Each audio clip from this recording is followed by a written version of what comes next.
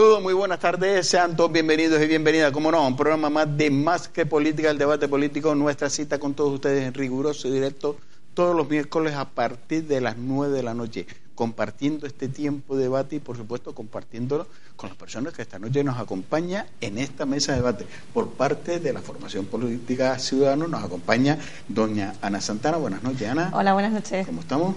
Pues bien, de mucho trabajo, pero bien. Eso, bueno, que haya trabajo, el trabajo es salud. Sí, señor. Por parte de Nueva Canaria, doña Isabel Guerra. Buenas noches, Isabel. Hola, buenas noches. ¿Cómo estamos, Isabel? Muy bien, muy bien. También cargada de trabajo. Uf, ay, ay, hay Eso- materia. Eso es bueno, ¿eh? Estamos Eso saliendo la crisis, sí. que no se diga. Doña Guadalupe Santana, por más por Telde, muy buenas tardes. Muy Mire, la, buenas pa- noches. la petaca ya de tanto trabajo ya se me había echado hasta volar. ¿Cómo estamos? Bien, bien, gracias, buenas noches. También con mucho trabajo. También, también hay, también hay. Y doña María Eugenia María, muy buenas noches, por Buenas parte del. Partido Popular. Buenas noches. También mucho trabajo. Demasiado a veces, pero bien, bien, muy bien. Eso, Que eso, sobre eso. el trabajo es bueno, Eso, siempre. eso es bueno, con optimismo, bueno, ¿eh? que ¿Ha venga, visto que la alegría? trabajo. ¿eh? Cuando hablamos, cuando hablamos de trabajo, toda la alegría que se desprende. Los que lo tienen. Sí, sí, sí. también. Aquellas que lo tenemos, pues podemos alegrarnos, la verdad. Pero es que siempre hay trabajo. Una cosa es que te lo remunere Uno y otra no cosa que no. Pero siempre hay y Sí. sobre todo en el las mujeres. Efectivamente. Ahí te doy la razón, para empezar. Pues, esa es la realidad, ¿no? Es la a mí cuando me dice, no, no, pero es que, y gracias, ya, ya nosotros los hombres nos vamos sumando también. ¿eh? Es verdad. Queda mucho camino por caminar y por concienciar, pero gracias a Dios los hombres han dado un paso adelante. Sí, es verdad, sí, es verdad. y esta sociedad. Y eso es bueno. Pero hay algo que todavía tenemos una asignatura muy pendiente. Yo creo que todavía ahí está fallando mucho esta sociedad. Y hablamos de eh, el Día Internacional, por ejemplo, que se celebraba eh, la semana pasada, el día 25, ahí a la vuelta de la esquina, Día Internacional contra la Violencia de Género. ¿Qué valoración hacemos el día después ya de celebrar este día, que creo que en este día no tenemos que celebrar nada, pero hay que mencionarlo porque todavía existe esta lacra en la sociedad, la violencia de género, esa violencia machista y esas víctimas que mueren a manos de esos asesinos. y asesinos. Me miras a mí, o sea que creo que empiezo Habla yo. usted siempre este yo. debate. Es que le Bueno. toca, lo que pasa es que las veteranas saben cómo jugar la ficha y las asesinos. Se, se hacen así como Mm. para... No, yo no tengo ningún problema por comenzar, sobre todo con este tema que creo que es una- un tema que nos atañe a toda la sociedad y que es verdad que cada vez eh, hay más conciencia y nos queda mucho camino por, por recorrer. Ya eh, de eran a veces cosas que se sabían y se quedaban de puertas para adentro y la gente lo sabía y no lo denunciaba. Ya hay una voz eh, en la calle, las mujeres ya no se callan, han salido, se manifiestan para hacerlo visible. Creo que todavía por eso tenemos que seguirlo. Además es un día eh, que no lo dice ni, ni un partido ni otro, sino que lo dice la ONU, porque es un día internacional para denunciar, para poner el foco, que tiene que ser los 365 días del año, pero bueno, se, se, se pone este foco el día 25 de noviembre para decir stop a la violencia, porque es una lacra para toda la sociedad. Y tenemos, y cada vez que, que tenemos un, una noticia de esta índole, creo que, que a todos se nos ponen los pelos de punta, porque decimos, una más, por favor, no, no, no queremos escuchar ese tipo de noticias, y es una labor no solamente de concienciación, sino también de educación que se tiene que hacer desde, abajo, desde la base, que la, la violencia no lleva a nada, sino a una destrucción de familias, de, de- una sociedad que, que no es lo que queremos. Para, yo creo que, que nosotros, nadie quiere esa sociedad que, que sea de violencia, sino que las cosas se pueden tratar de otra forma. Y eso parte desde, los, desde pequeño, desde la educación, de la tolerancia, de la discrepancia, pero con educación. Todos esos valores se tienen que inculcar desde chiquititos. Y bueno, y estamos todos, todos involucrados y creo que los hombres eso han ido poquito a poco incorporándose. Tengo gracias a Dios yo tengo muchos conocidos que están incorporados y denuncian y, y- ponen eh, también el foco en, en esos maltratos y en esa eh, en esos casos tan horrorosos de, de- de maltrato a la mujer. Y pero todavía falta mucho más por caminar. Doña Isabel, ha quedado usted muy pensativa. Sí, porque no deja de ser un tema eh, por recurrente no menos importante, ¿no? Mm, Este año el lema era abolición a la prostitución. como forma brutal de desigualdad eh, hacia las mujeres y como violencia hacia las mujeres. Mm, bueno, hay todo un compendio de resistencia a decir que eh, en todo caso las mujeres prostituidas lo hacen porque quieren o lo hacen en libertad y en ejercicio de su cuerpo, ¿no? Las que somos abolicionistas y además somos feministas pensamos que como la prostitución, eh, otras formas de violencia, pero la prostitución es una forma brutal de desigualdad de una sociedad patriarcal que utiliza los cuerpos de las mujeres como si fueran de dar, tomar. En ese sentido, pues bueno, es el día para eh, reivindicar y poner el acento no solo en las mujeres prostituidas, sino en el proxeneta, aquel que tiene la capacidad económica para comprar el cuerpo de una mujer. Y en ese sentido, pues, eh, bueno, hay corrientes de legalizar la prostitución y todo eso. Nosotras pensamos que no se puede legalizar algo que es brutal y que es un síntoma de la desigualdad en una sociedad que Bueno, utiliza a las mujeres. El proxenetismo está Ah, eh, legal. eh, sí, pero mm, no sé qué. No, no, que ah, no simplemente como has dicho los proxenetismos, que el proxenetismo en sí es ilegal, o sea, ya está tipificado como... Creo que no he dicho que sea legal. No, no, no, pero Vale.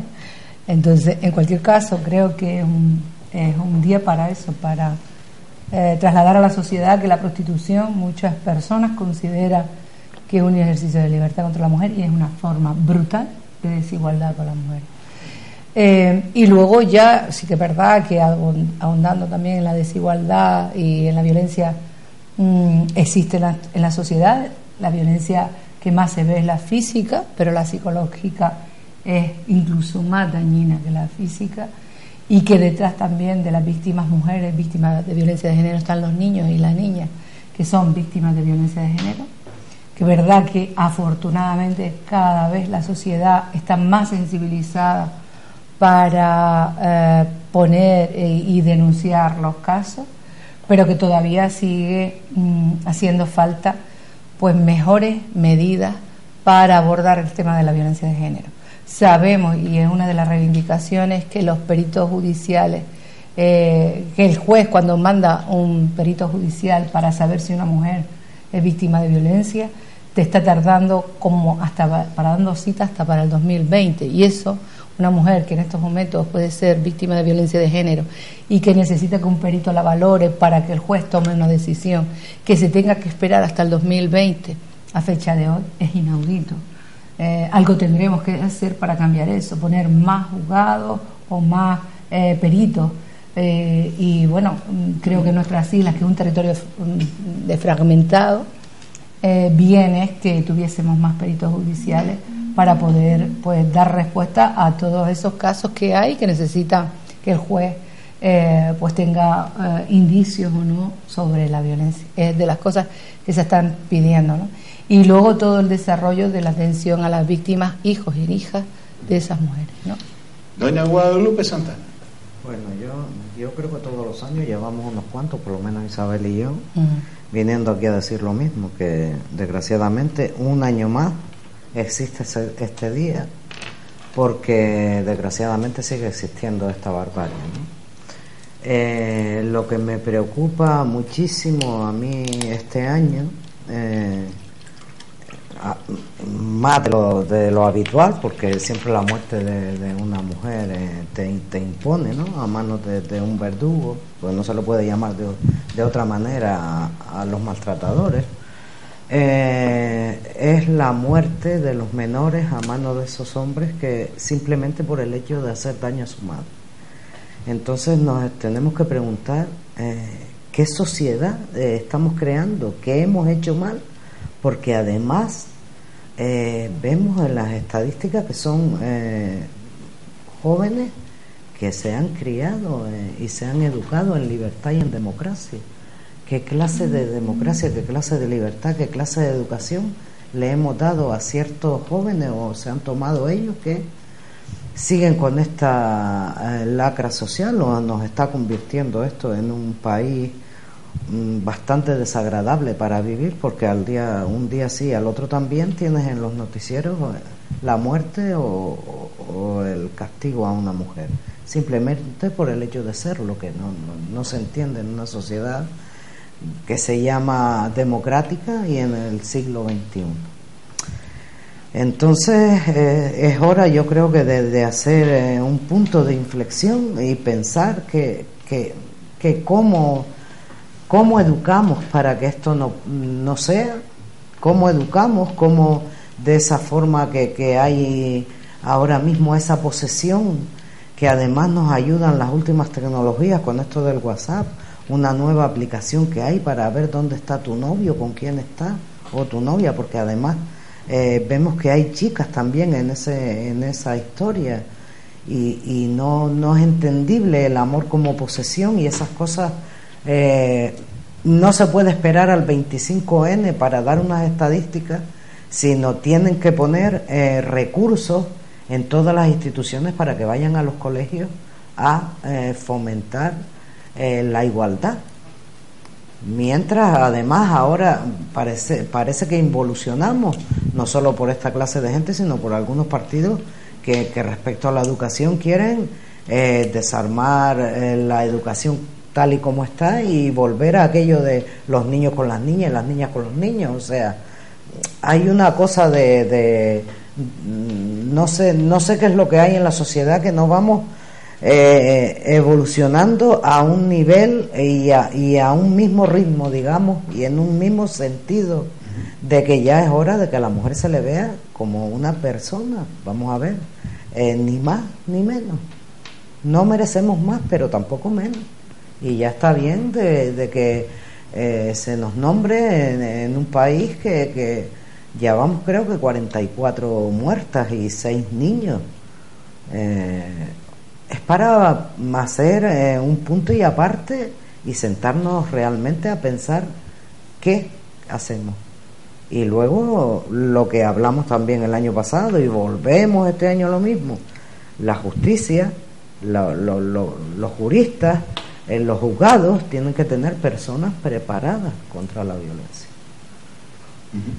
Doña eh, vamos a ver, el después de oír a todas mis compañeras, es cierto que este año había un lema distinto a los de los años anteriores. Yo tuve el gusto de asistir el viernes a una conferencia en, el municipio de Guía de la violencia y la pornografía.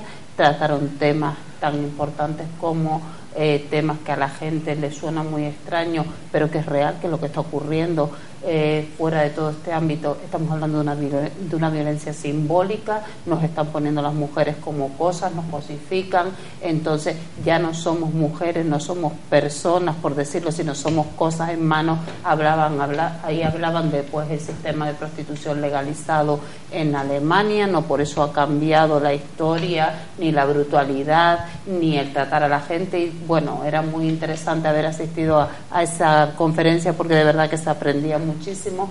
Yo con respecto al Día Internacional de la Violencia, bueno, pues desgraciadamente es una lacra que tenemos en la sociedad.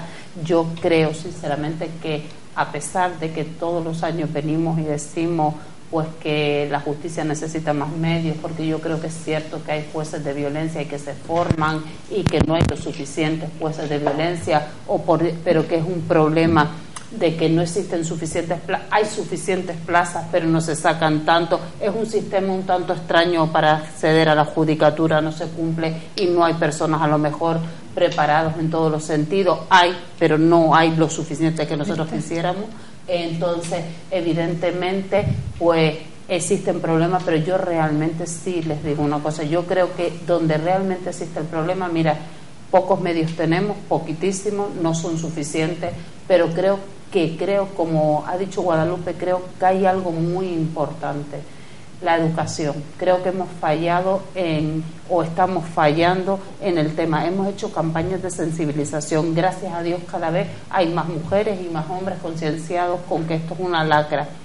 Hay pocos medios para tal pero la educación desde que son niños hay que inculcarles que todos somos iguales, que las mujeres somos mujeres, que no somos cosas, que, que yo que sé, no hay que dejar a tu niño de 8 años que se ponga delante de, un, de una televisión y pueda ver, oye, pues aquella conferencia tú de el mayor programa que hemos visto durante los últimos años, Juegos de Tronos, y te queda, eh, asombrada con la de con la de escenas que hacen eh, mención a las cosas de violencia, ¿sabes lo que te digo? O incluso violencia y pornografía incluida. Y hay un montón de niños y de jóvenes que ven, que viven en sus casas día a día, pues contenidos que a lo mejor están fuera, yo que sé, hay algo que, a ver si me estoy explicando bien, que yo creo que es verdad que tenemos pocos, me, pocos medios, que es verdad que hay que incidir muchísimo más en todo, pero creo que estamos fallando a lo mejor, o deberíamos hacer más hincapié, no que estemos fallando, sino deberíamos hacer más hincapié en inculcarle a todas esas personas que están en colegio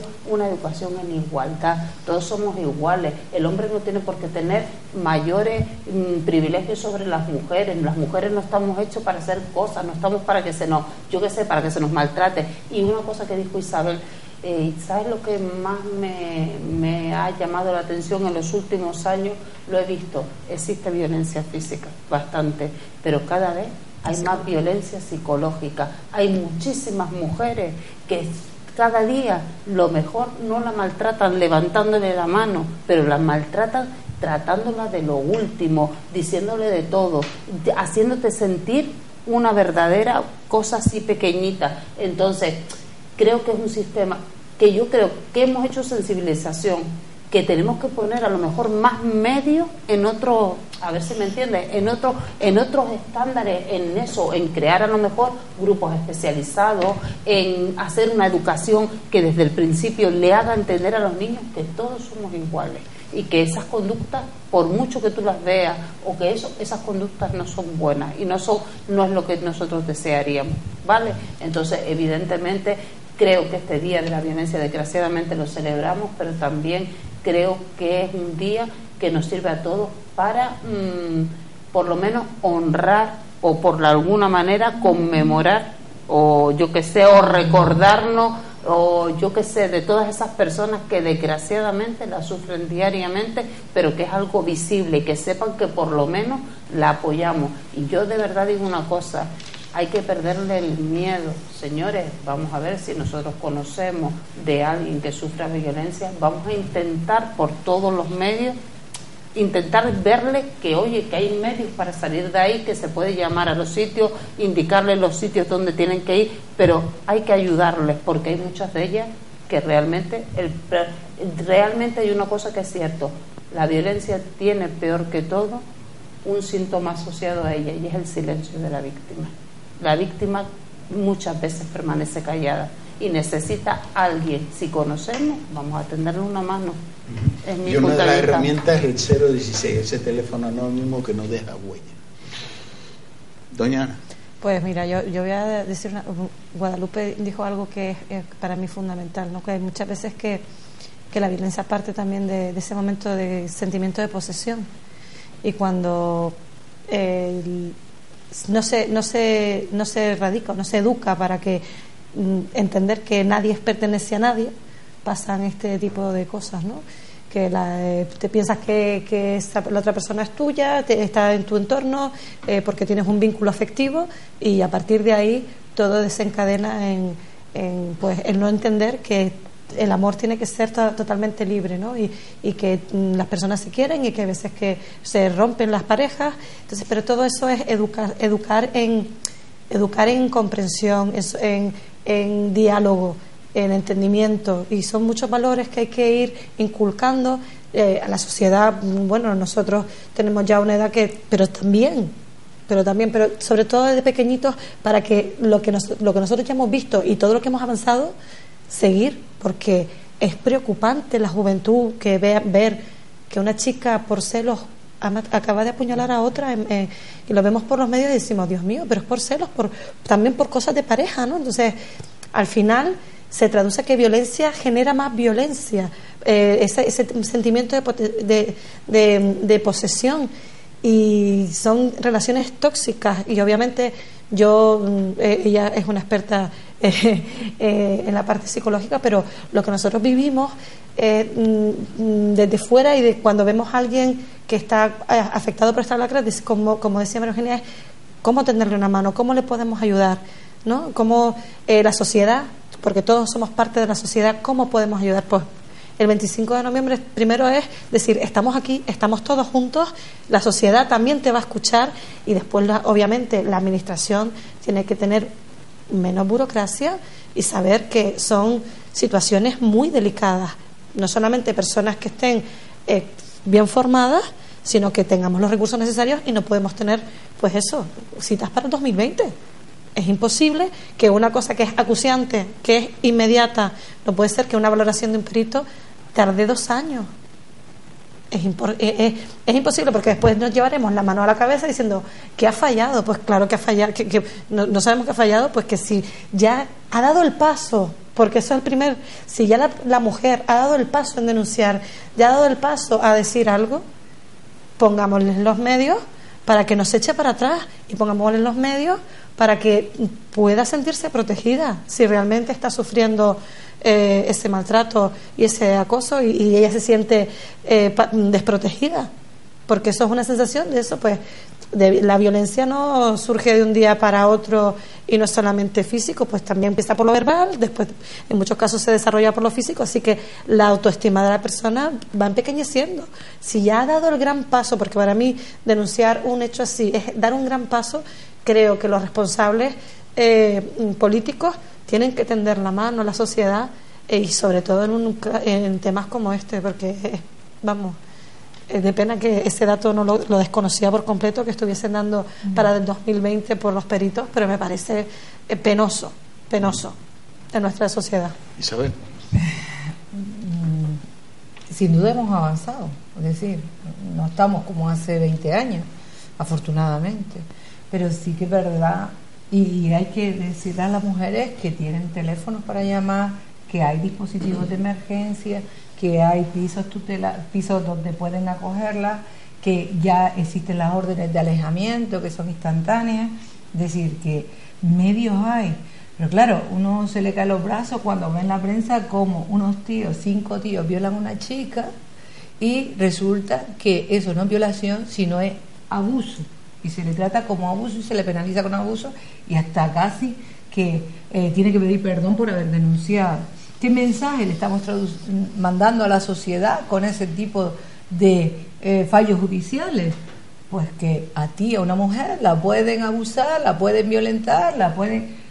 Como no la maten, parece que la pueden hacer cualquier cosa, ¿no? Entonces, ¿qué hace falta? Dice, por ahí, ¿qué hace falta? Que me maten para que ustedes me presten un poco de atención y saber que estoy eh, eh, siendo violada o, qué hace falta que eh, en medio del terror yo no me deje y me termine matando para que ustedes consideren que me tuve que defender, tuve que sacar la uña y agredir al otro para que ustedes reconozcan que yo estoy siendo violada. Lamentablemente, como sentencias, como la manada, no dejan sino de echar para atrás todo el trabajo que se ha hecho a la hora de decirle a las mujeres que tienen que denunciar este tipo de cosas porque ya es la vergüenza, porque incluso casi que tienes que justificar y que la sociedad te ponga ahí como a ver si lo que tú dices es verdad, porque a priori tú tienes un cuento, a priori, y ya luego ya veremos si es verdad o no es verdad, pero es que la sentencia, con hechos firmes incluso, todavía el código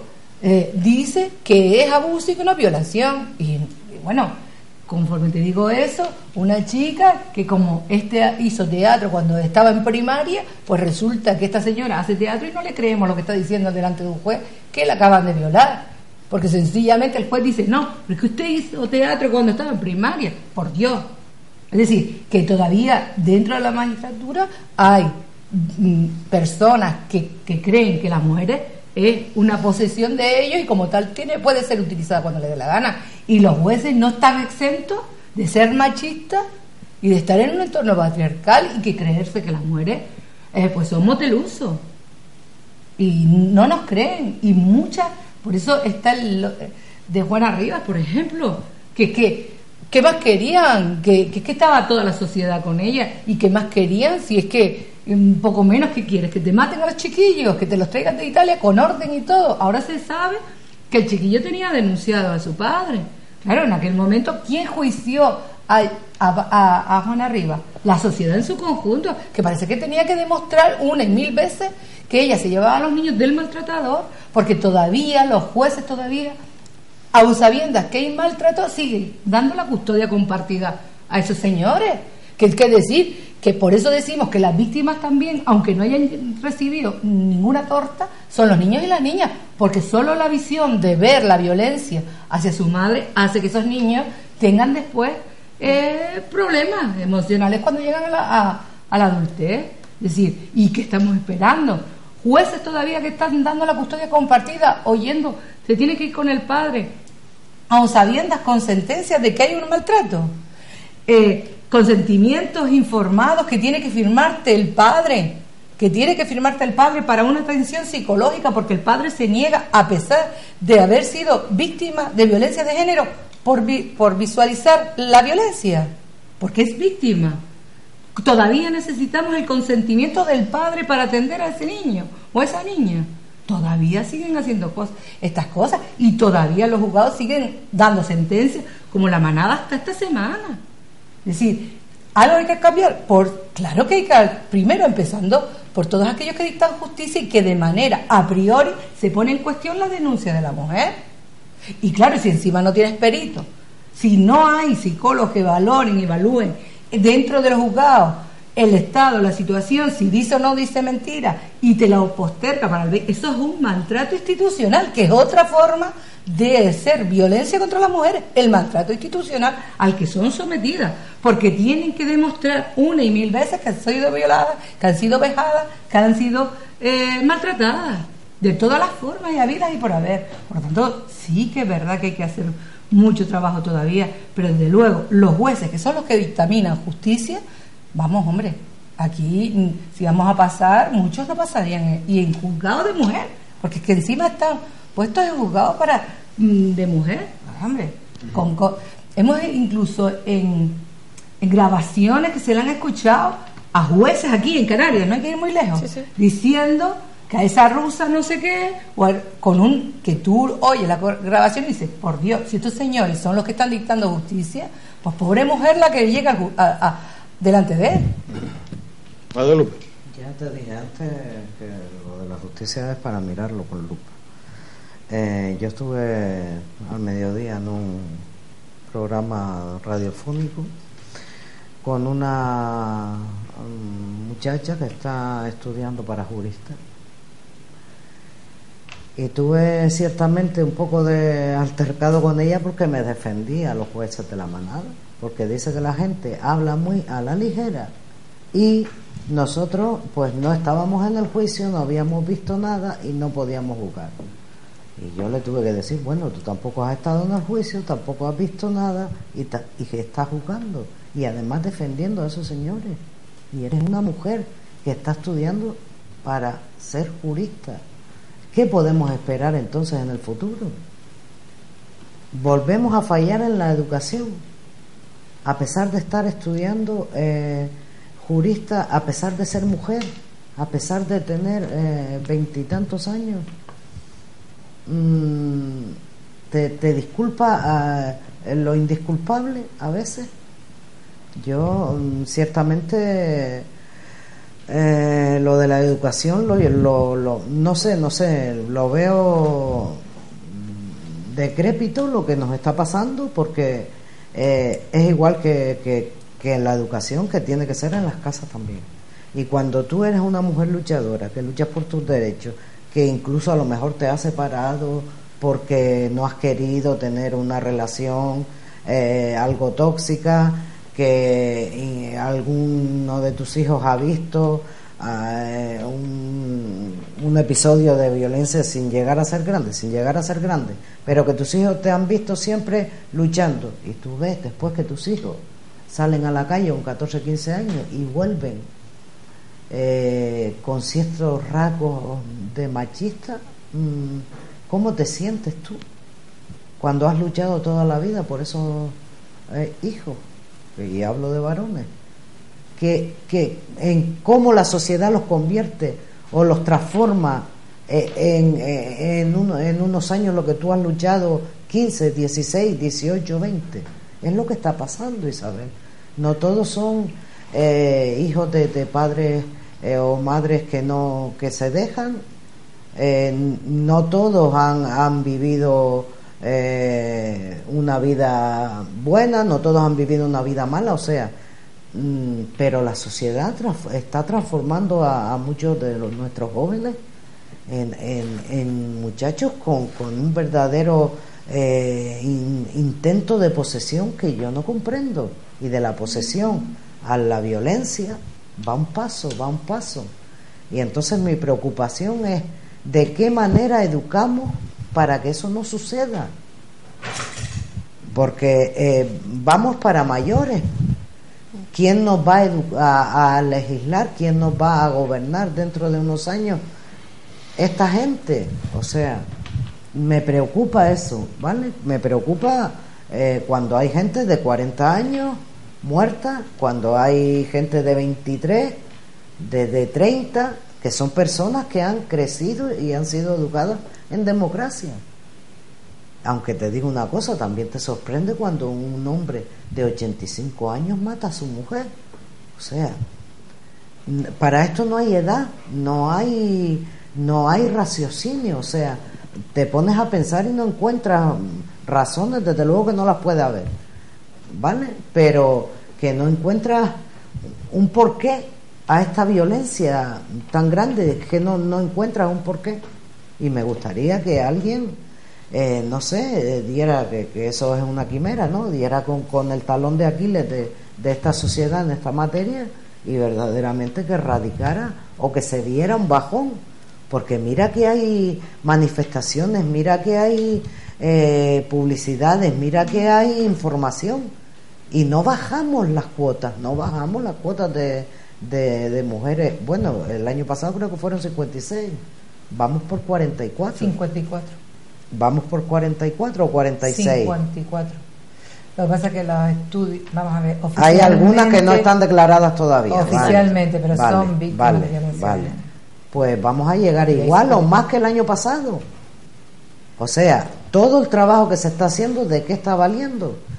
La gente está sorda, ciega, según para qué.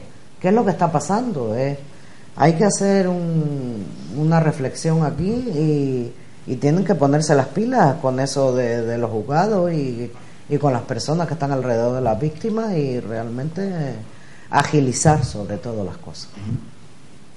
Bueno, en un principio me gustaría decir que a diferencia de yo comprendo y valoro todas las posiciones que, que, que se sostienen en la mesa, pero tenemos que decir una cosa, los jueces, no nos olvidemos, jueces y magistrados son personas como nosotros, con unas creencias, con con un tipo de educación, una ideología y en un sentido y criados a lo mejor algunos en sentidos patriarcales como patriarcales, perdona, como muchísimas de las personas que se mueven en la sociedad. Cierto es también que los comentarios que ha hecho Isabel se han dado, pero yo confío mucho más porque gracias a Dios en la actualidad en Las Palmas pues existen, las mujeres se presentan ante los juzgados de violencia de género, los específicos, y solamente pasan por un juez normal cuando van de guardia y no está ese juzgado, que es lo que ocurre aquí en, en un sábado o un domingo en nuestro municipio, porque automáticamente le dan una orden o le dan algo y las llaman el lunes directamente ante la jueza de violencia, que nosotros tenemos jueza en nuestro municipio.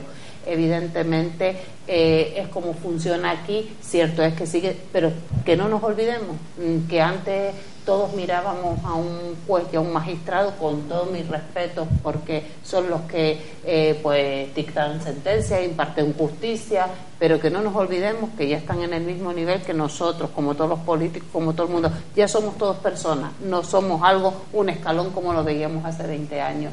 Mm, respecto a lo que estabas comentando, Guadalupe, de lo que estaba fallando es más o menos lo que yo dije en mi primera intervención Vamos a ver, se está produciendo una educación que tú en tu casa, tú lo dijiste, yo educo a mis hijos en igualdad, yo educo a mis hijos para que a lo mejor no sufran o no vean o si han visto o intento decirles, mira, esto no está bien. Pero era lo que decíamos antes, la sociedad, que tú decías el por qué, es lo que acabamos de... Eh, a mí me gustaría, fue muy interesante, estas técnicas me dejaron asombrada porque yo decía, madre mía, ¿cómo no te das cuenta?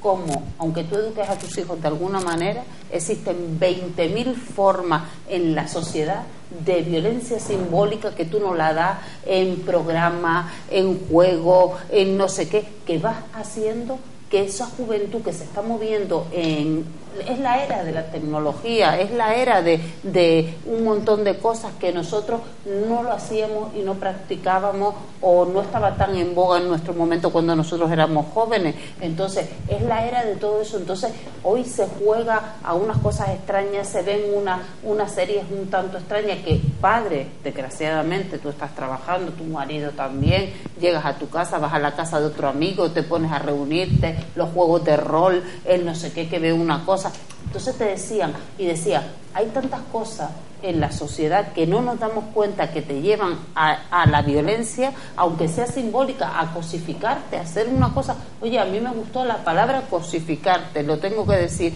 Nunca me había parecido tan interesante la palabra, porque digo, es cierto, me hacen cosas. Cuando tú, cuando tú actúas contra una, una persona, lo que hace un, un agresor, un violador, lo que hace cualquier persona que inflige el maltrato a cualquier persona, sea niño, sea mujer, sea otra persona de al lado, ¿qué es lo que hace? Quitarte tu personalidad. Eres una cosa, para él no sirves para nada y entonces eso me gustó muchísimo y entonces te das cuenta cuando vas a un sitio de esto, a un foro, oye, hay 20.000 cosas que a pesar de tú estar educando, a pesar de tener campañas de sensibilización, a pesar de un montón de cosas, si nosotros no actuamos sobre esos puntos, sobre la educación, sobre saber qué es lo que está bien y lo que está mal, evidentemente los chicos están saliendo a la calle y están educándose en, otros foros que no son tu foro, ni en tu instituto, ni en tu centro, ni en tu casa. Es lo que, lo que yo entiendo que es lo que está pasando. Desgraciadamente estamos teniendo otra vez una oleada que también me preocupa, como tú acabas de decir, Oye, mm, es muy triste asistir a un juzgado y ver a un chico de 18, 19 años que la insultó simple y llanamente, vas a un juzgado de violencia, que no es que simple y llanamente la haya insultado, me refiero que nadie me malinterprete, que estoy diciendo un ejemplo, que no ha llegado a hacer una violencia física o a un maltrato psicológico más fuerte, sino que se ha producido esos primeros escarceos, ¿sabes lo que te digo?, dentro de este mundo, y tú le dices, oye, mira, las relaciones comienzan, terminan, o sea, cada uno por su camino. Y el tío te dice, no, no, no, es que si no está conmigo no tiene que estar con nadie. Y tú miras y dices, oye, ¿cuántos años tienes tú? Y te dice, yo tengo 18, 20 años. Y tú dices, vamos, de aquí a que tengas 40, mínimo tendrías que tener 10 más, digo yo, o sea, mínimo, que es lo que yo creo para tener una vida más o menos. Y te dice, no, no, no, yo estás para mí para toda la vida. Y tú dices, poco un poco extraño. Eso es lo que me preocupa realmente, que se está produciendo otra vez como un, como un retroceso en estos jóvenes. Y tú dices, ¿dónde está saliendo eso?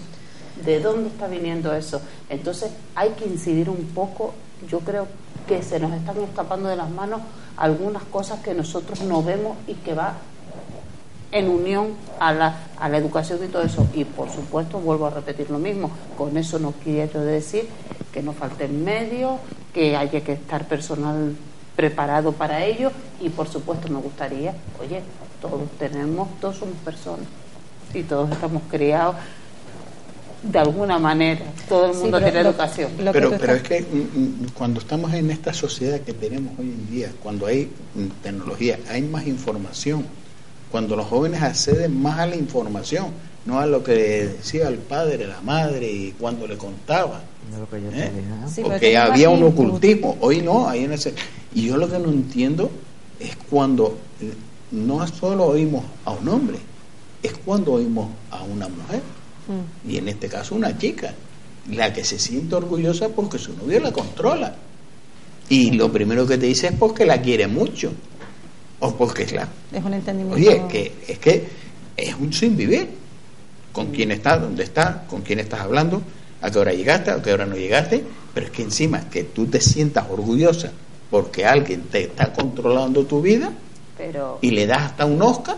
Es que hay que educarlas en, las emociones también, no solamente hay que educar en la Eso es preocupante, algo, algo ahí se le está diciendo, oye, que esto no puede ser. Lo que yo te dije antes, estamos evolucionando eh, en la posesión. Pero, vamos a ver una cosa, yo le puedo decir una cosa también muy instructivo, que esto no es que yo lo sepa, sino yo traigo lo que yo aprendí aquel día.